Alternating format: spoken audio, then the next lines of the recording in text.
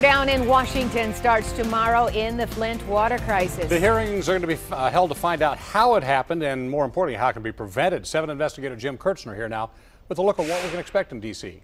Yeah, four witnesses will be giving testimony, including two who refused to testify during the first hearing last month. That includes former Flint emergency manager Darnell Earley.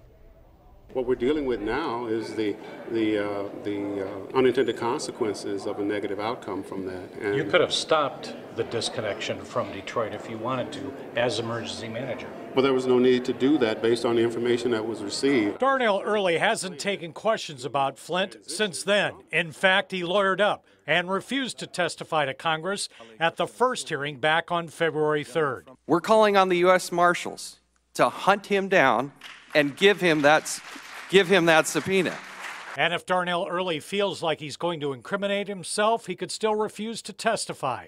One of the committee members is Representative Brenda Lawrence of Southfield. But he's going to have to take the fifth or answer the question because the questions will be asked. Other witnesses include a former regional EPA administrator, Susan Hedman, who resigned. She also refused to testify last month. What just boggles my mind, which I don't understand and which is just intolerable is the idea that they knew about this almost a year ago and didn't do anything, didn't let anybody know. What I've heard from my colleagues is that there's a commitment uh, not just to get to the bottom of this and find out how it happened, uh, but to help make it right. It's not good enough to just say, oops, um, people need to be held accountable.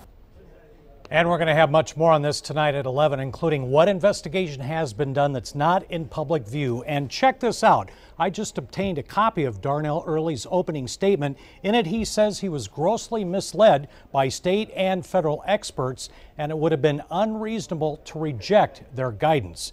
Governor Rick Snyder testifies on Thursday. I'll be in Washington this week. Live in the newsroom, Jim Kiertzner, 7 Action News. All right, Jim, we'll see you at 11.